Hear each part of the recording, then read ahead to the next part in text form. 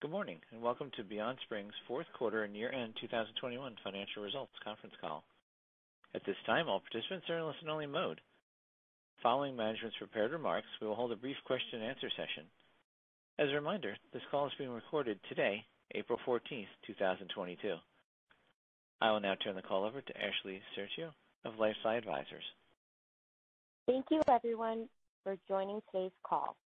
I would like to advise listeners that comments made on today's call may reflect forward-looking statements that are related to such matters as BeyondSpring's clinical and pre-clinical research and development activities and results, regulatory and commercial plans, industry trends, market potential, collaborative initiatives, and other financial projections, among others. While management believes that its assumptions, expectations, and projections are reasonable in the view of the currently available information, you are cautioned not to place undue reliance on these forward-looking statements.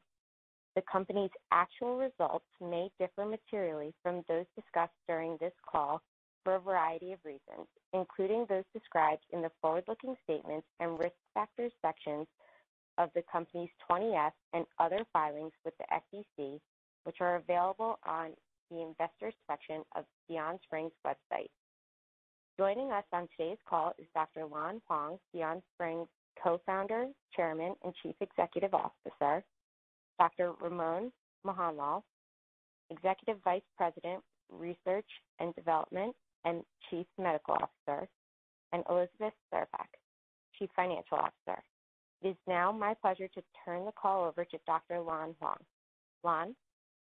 Good morning, everyone, and thank you for joining today's call. It's a pleasure to be here today reporting our fourth quarter and year-end results and providing an update on our progress in the past few months.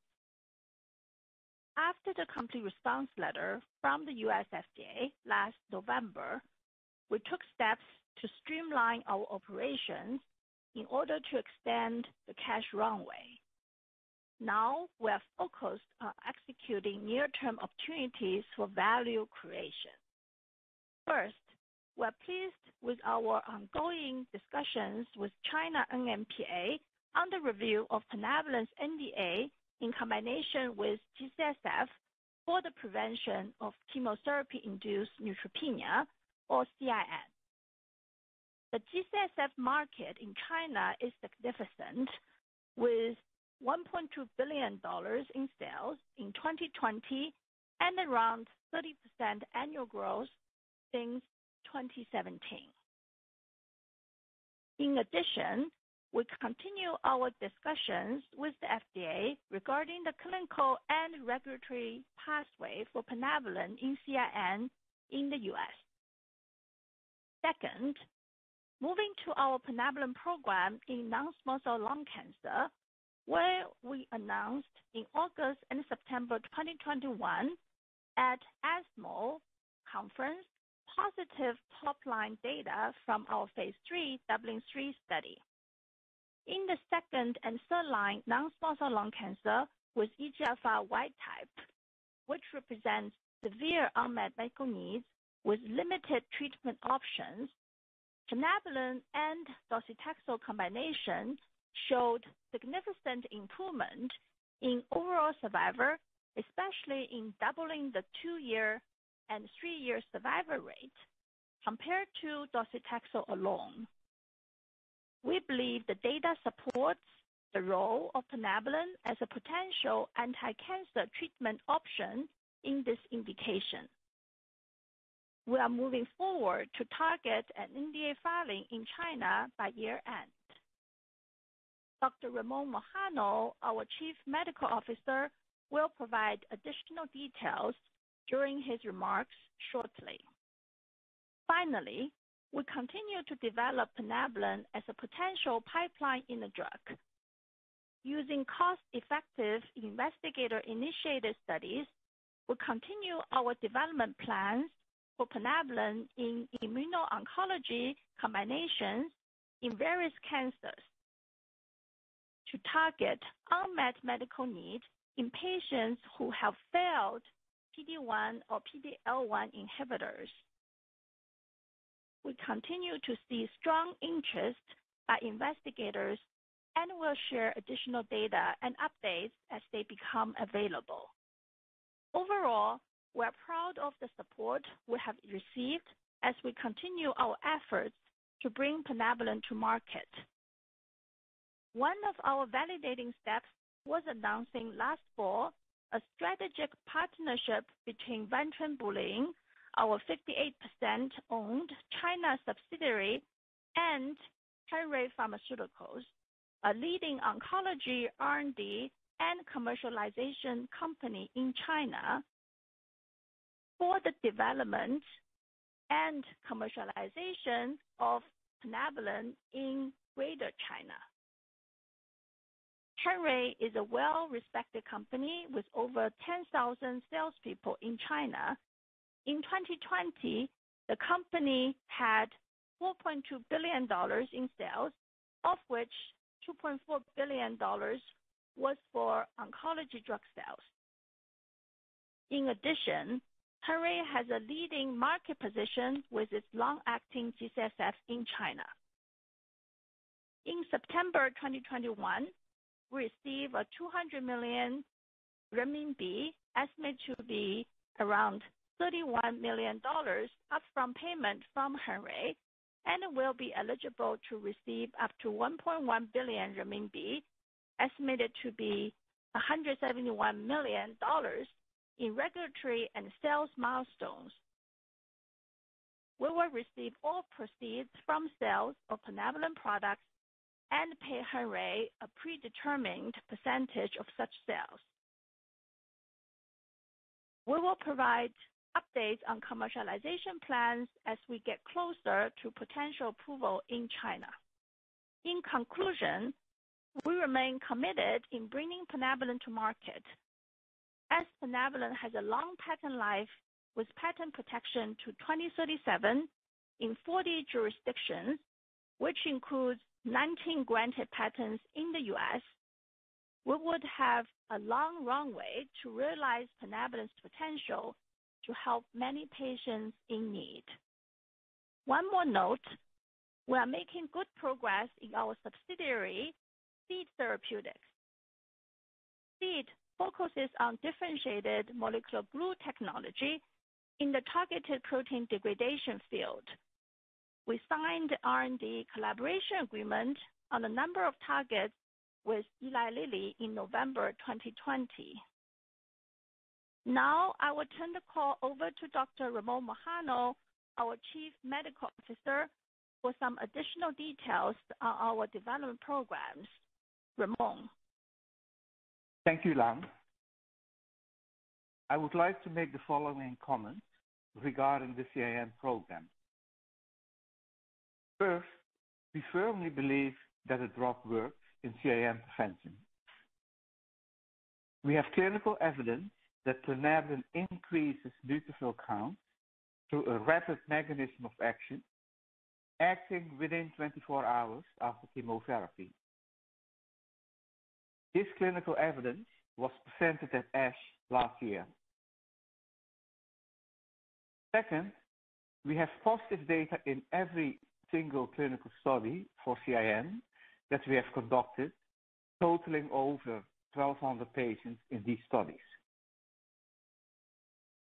The data has led to multiple presentations at leading scientific conferences, as well as publications in highly regarded peer-reviewed journals. Third, although we have positive clinical trial data, we do fall short in satisfying the U.S. FDA's requirement to receive approval at this time, in that more data will be needed. A second phase III CIN study will be required, and we are currently in discussions with the U.S. FDA to align on the design of this study. We are highly committed to bringing plinabulin for CIN prevention to the market, to provide doctors the tools to better protect their patients against CIN, which continues to be a condition with unmet medical need.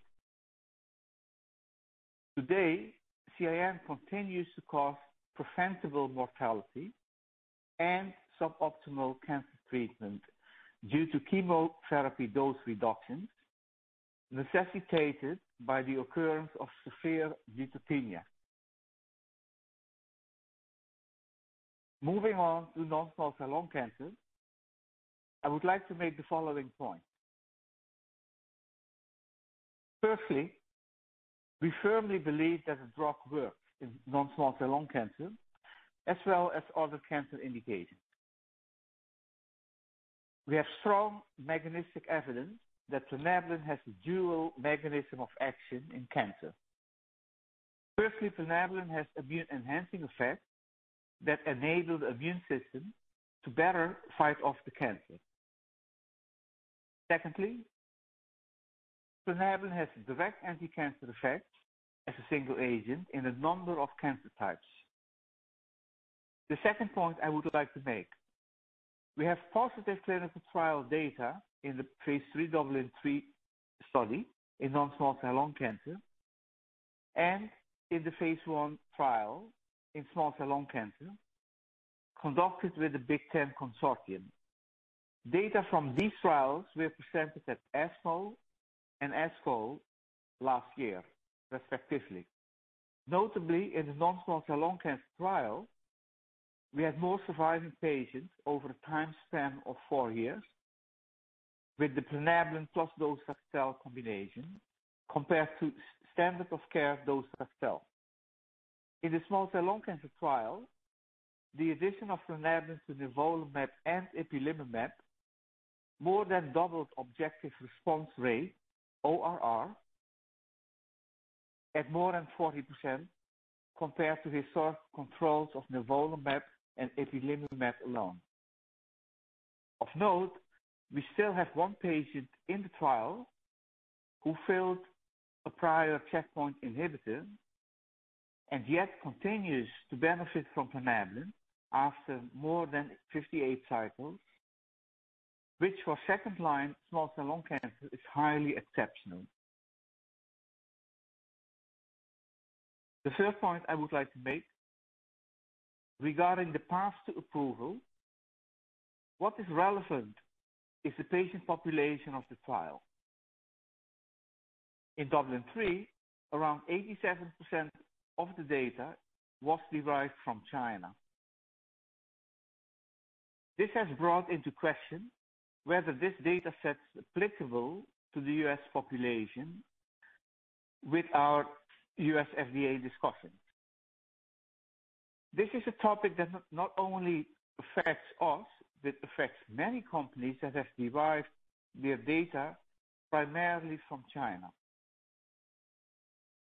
In the February ODAC meeting, the review of a BLA for sintilimab, the FDA committee publicly noted that while it was convinced about the efficacy and safety of the data presented, they would require additional data that is applicable to the U.S. population. Having around 87% of the patients derived from China, however, is a distinct advantage for obtaining approval in China, as the data is highly applicable for Chinese patients. The NDA filing for non-small cell lung cancer in China will therefore be our near-term priority. We, however, will remain committed to continuing our clinical and regulatory discussions in the U.S. and other regions. In addition to the development of plinabulin in CIN and non-small cell lung cancer, we are developing plinabulin and immunotherapy combinations through a number of phase I/II IIT trials that are currently ongoing, and we will share the data as we receive it. With that, I will now turn the call over to Elizabeth, our CFO, for a review of our financials. Elizabeth? Thank you, Ramon. I will now briefly discuss our fourth quarter and year-end 2021 financial results. For greater detail to these results, I refer you to our press release issued this morning and to our 20-F filing, both of which can be accessed under the Investors section of our website. With that, I will now highlight some of the key financial results.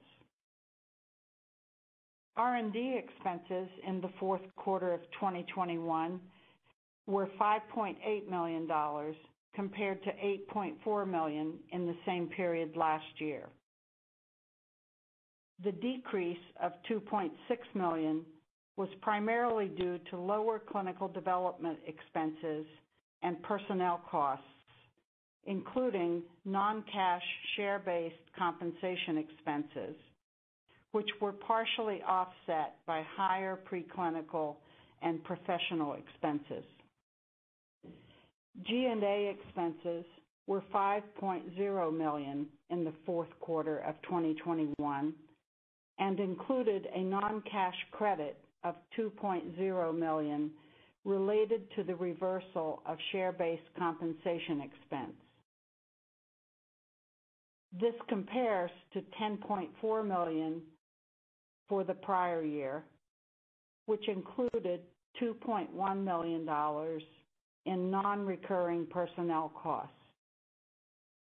The decrease was primarily driven by lower share-based compensation expense. The net loss attributable to the company in the fourth quarter of 2021 was $9.5 million, compared to $17.6 million for the same period last year. For the full year 2021, R&D expenses were $36.9 million compared to 41.8 million for the prior year. The $4.9 million decrease was primarily due to lower clinical development expense and non-cash share-based compensation expense, partially offset by higher personnel costs, preclinical and professional services expenses, as well as a $2.9 million NDA application fee paid to FDA, which is expected to be refunded during the second quarter of 2022. G&A expenses for the full year 2021 were $30.7 million compared to 22.6 million for the prior year. The majority of the $8.1 million increase was due to higher pre-commercialization expenses for plinabulin, which we do not expect to continue this year. There were also increases in personnel costs, administrative expenses, and other costs, which were partially offset by lower non-cash share-based compensation expense. The net loss attributable to the company for the full year was $64.2 million compared to 61.0 million for the prior year.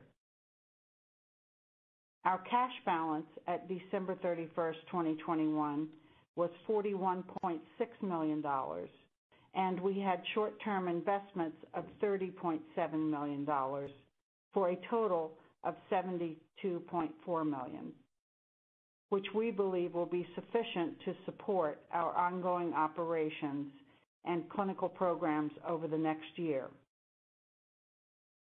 With that, I'll now turn the call back over to Lan for closing remarks. Lan? Thank you, Elizabeth, and thank you to everyone who is on the call for your strong support.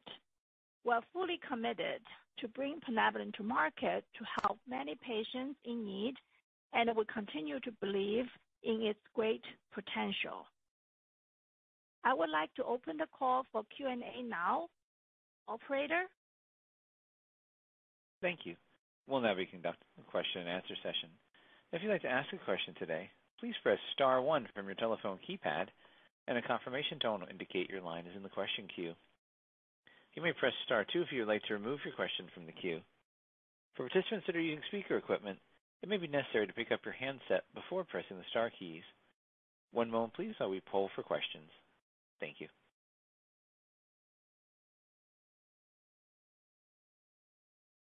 Thank you. And our first question is from the line of Maury Raycroft with Jefferies. Please proceed with your questions. Hi, good morning. Uh, thanks for taking my questions. Um, I wanted to check on the uh, China uh, approval for CIN. Um, you've mentioned that you're in ongoing discussions with China's NMPA for CIN. What kind of feedback on a potential approval decision have you received so far, and is there an update on what the timeframe for approval could look like? Oh, thank you so much, uh, Maury, and thank you for supporting us over the years. So the CIN NDA application is currently under independent review with the China NMPA. As you see, actually, I'm currently in China to work with our China team on the review process. So far, we have had multiple positive meetings with CDE, which is the Center of Drug Evaluation in the NMPA, and we remain hopeful of the potential approval in China. But as also you know, anything dealing with regulatory process has its inherent uncertainties. However, our optimism is based on the strong data generated in Asian patients in the 106 phase III study. And we will provide the progress of the discussions with China and NMPA in due course. Okay. Understood. And um for CIN in the um, United States, you mentioned running an additional study. Um, can you elaborate on conversations with FDA on what the additional study in CIN could look like and when that could start?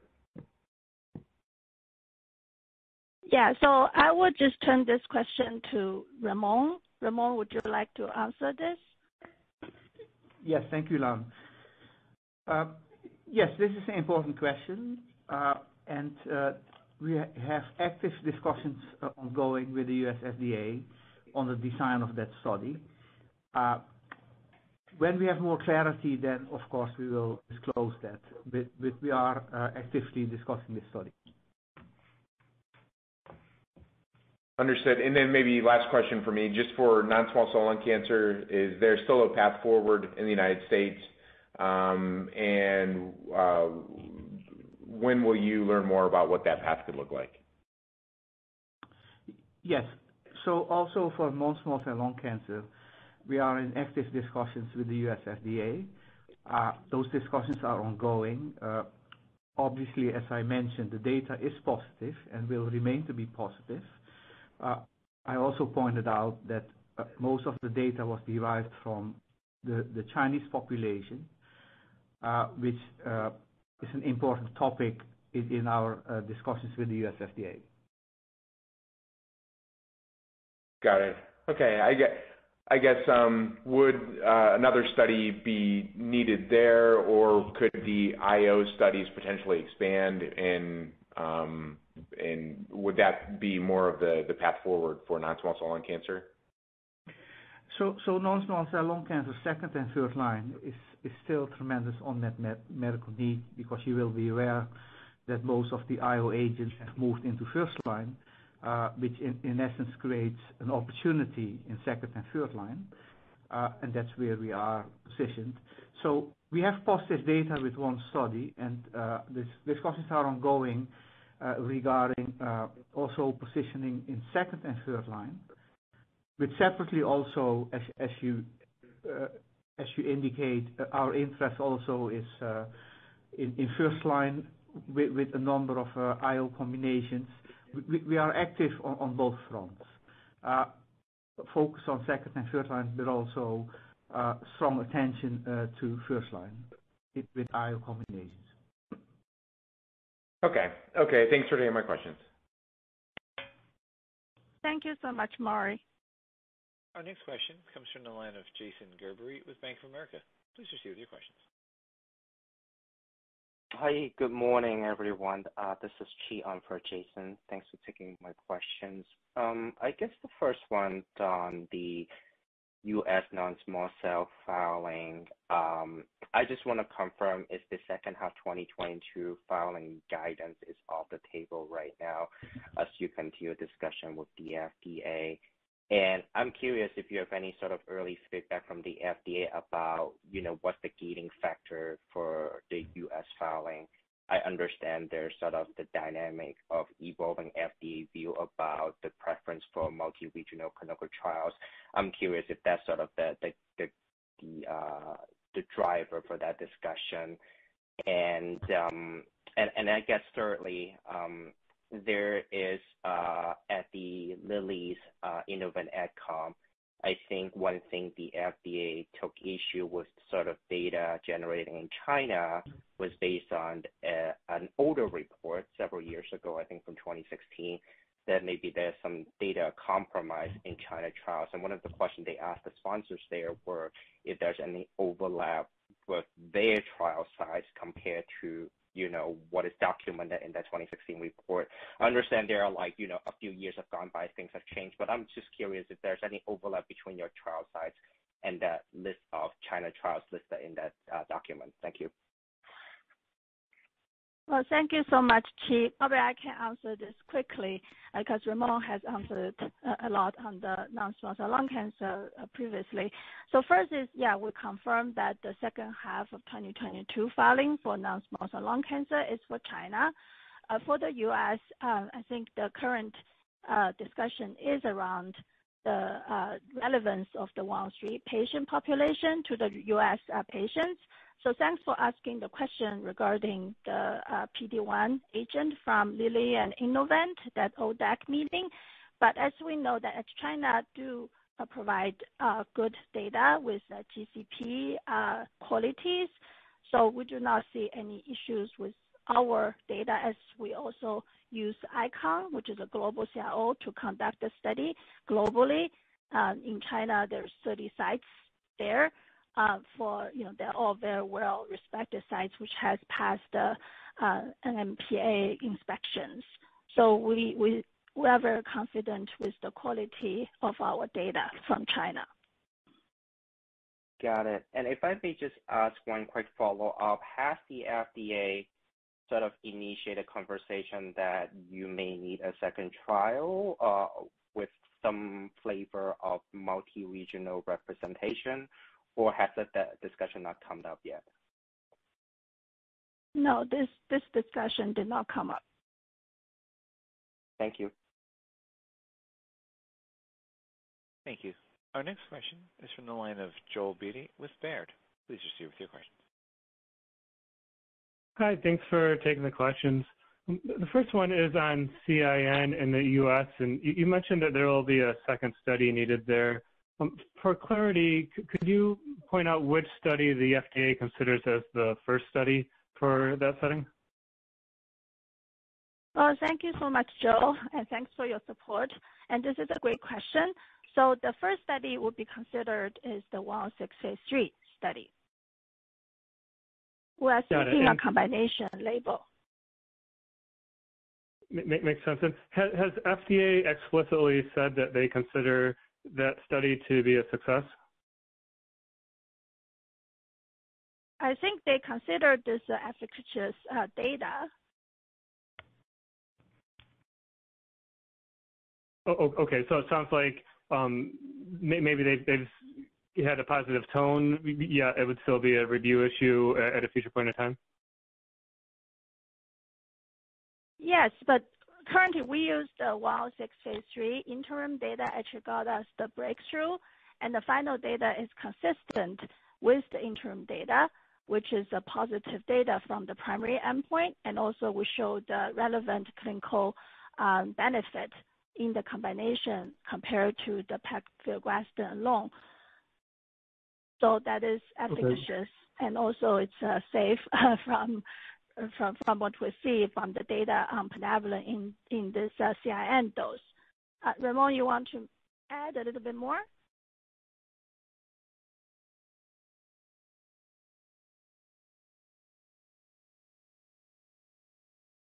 Well, If not, did I answer your question, Joe?